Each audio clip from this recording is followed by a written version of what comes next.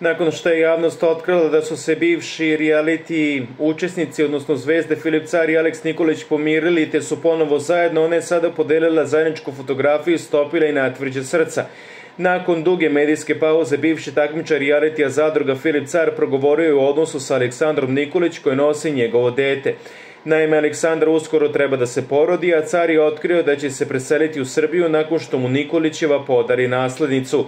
Oni su se nedavno pomirili i odlučili da svoje ljubavi daju još jednu šansu. Čini se da im sada ide bolje nego ikada, pa je tako Aleksandra oduševila brojne pratioce novom porodičnom fotografijom na Instagramu, koja mi je jasno svima stavila do znanja da jedva čeka svoju princezu da drži u rukama, a Filipa vidi kao najveću podršku u ovim trenucima. Naime, ona je objavila Lava, Lavicu i njihovo mladunče, pa dodala emotikon srca. Nismo se mi oko tog pomirenja i nalaska i zajedničkog života dogovorili, nego išlo spontano, rekao je car.